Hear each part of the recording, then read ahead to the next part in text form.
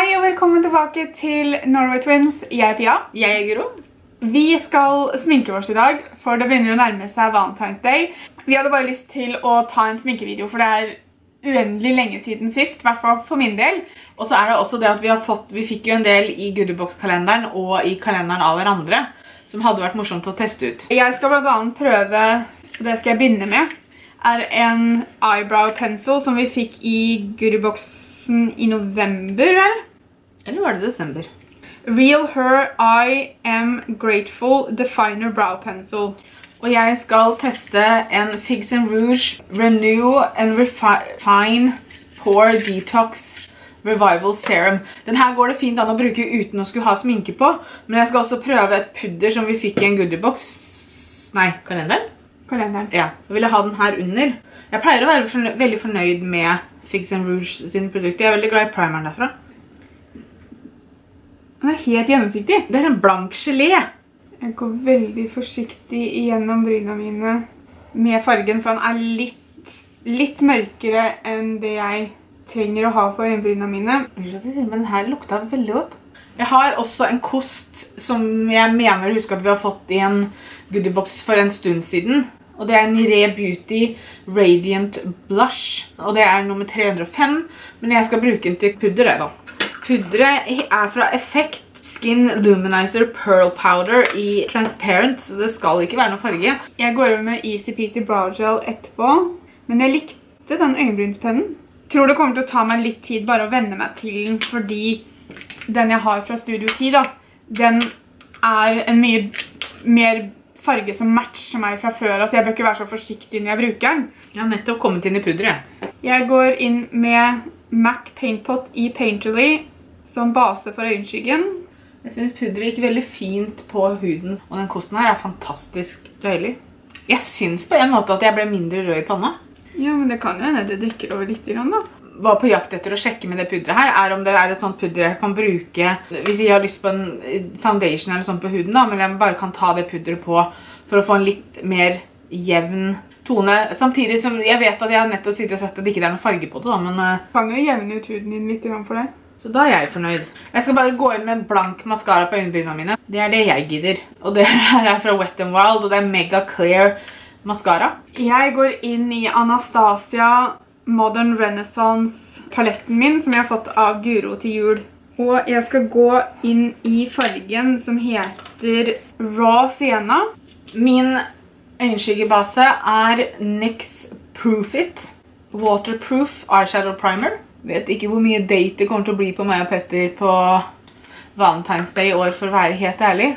Veldig fin på øyelokket, pluss at han er litt sticky. Noe som kan være veldig bra når man skal ta på øyenskygge. Øyenskyggene jeg skal bruke er Passé, pa Paese. Jeg vet, vi fikk den i goodiebox-kalenderen i hvert fall. Og så skal jeg prøve en uh, sånn øyenskygge som jeg fikk av Pia i gavekalenderen vi hadde til hverandre. Me, me, me.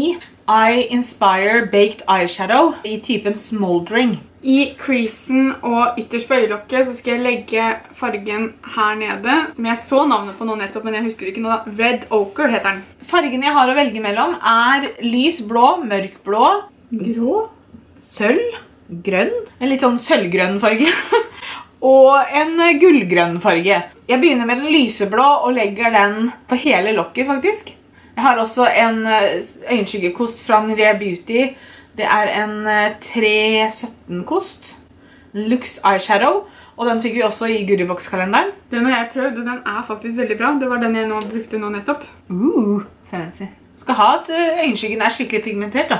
Jeg har en Mi Mi Mi øyenskygge jeg også, som jeg kjøpte samtidig som jeg kjøpte den som Guro fikk i kalenderen sin. Jeg har en gullfarge, en rosa, en lilla og en bronse, kanskje? Vi er så flinke til å klare farger. Få se. Jeg føler at den er litt lik den gullgrønne fargen jeg har. Ja, så den er gullgrønn. Mhm. Og da er den som jeg kalte gull, den er da gulloransje. Men jeg skal gå inn i den lilla og legge den litt oppå der jeg nå nettopp la Red Ochre helt ytterst på øyelokket. Jeg tar ikke den så veldig opp i creasen. Jeg skal si det at de fargene her var ikke superenkle å blende ut. Har du lagt den et sted, så blir den der. Og det er jo ikke alltid det du vil da. Noen ganger det er litt kjekt å kunne, la oss si, flytte litt på den. Jeg skal også innrømme at jeg trodde at fargen var lysere, så det her blir kanskje ikke så romantisk og, og lyst som jeg trodde.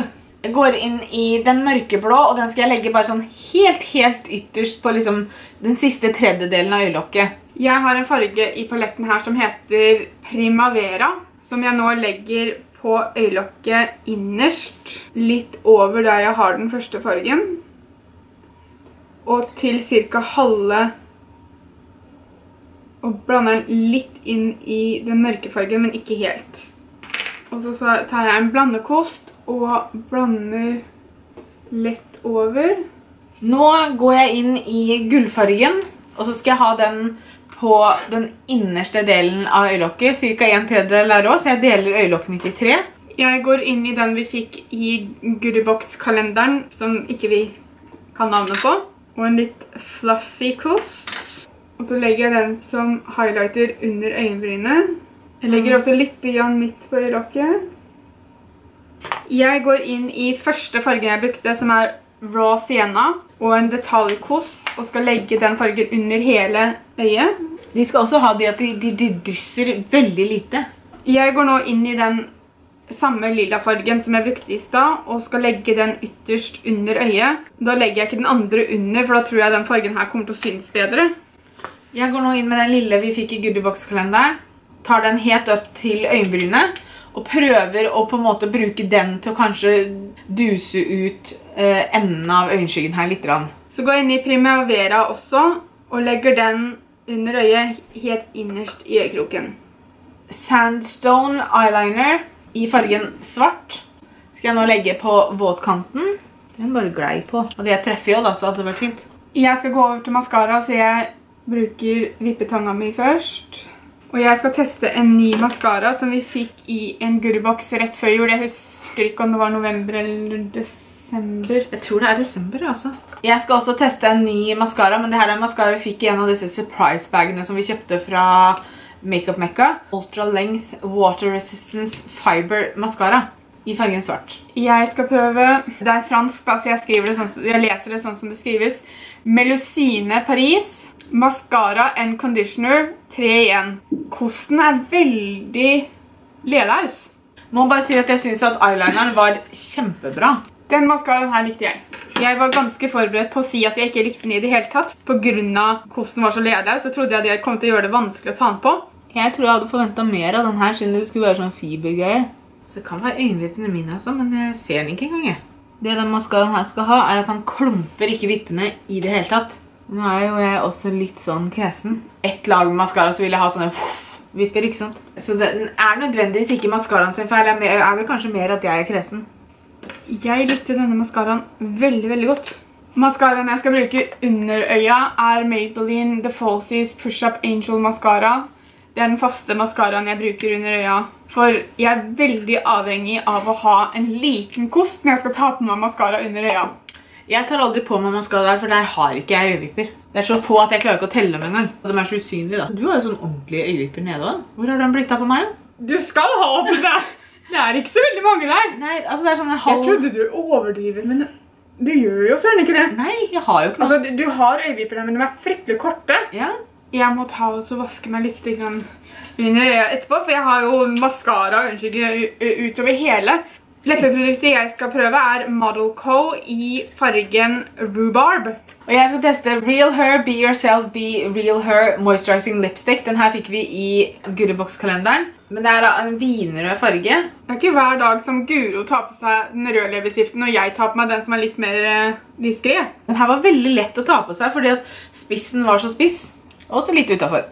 Jeg elsket den fargen her. Jeg synes den fargen her var fin. Men jeg stopper ikke der, nei da. Jeg skal prøve den her som jeg fikk av Pia også. Og det er fra Makeup Store, og det er en lipgloss gelato. Gelato. Mr. Roboto. Og det er i fargen Watermelon. Det som er med den her er at det er veldig rart, for det er veldig langt ned, så jeg må bruke fingeren. For bruke lillefingeren da. Jeg vet ikke om det her har noe å si, for jeg vet ikke om det kanskje syns over en gang, men... Uh, du tar egentlig mer av deg leppestiften nå enn ta på deg ny. Det var ikke så lurt å ta på den. Men uh, det var fin farge da. Det, jeg ser ut som jeg har over hele. Jeg er veldig uvant til å se for sminka, for det er ikke ofte for tiden, for å si det sånn. Men vi håper dere har likt denne videoen. Tusen takk for at dere så på. Ha en kjempefin Valentine's Day, og så snakkes vi. Ha det!